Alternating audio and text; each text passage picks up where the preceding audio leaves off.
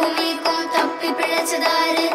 இப்போ அக்னி காட்டுல ஆட்டம் போடுற கேக்க ஆளு யாரு அடதாய போட்டவ கூண்ட விட்டுதான் எகிரி போ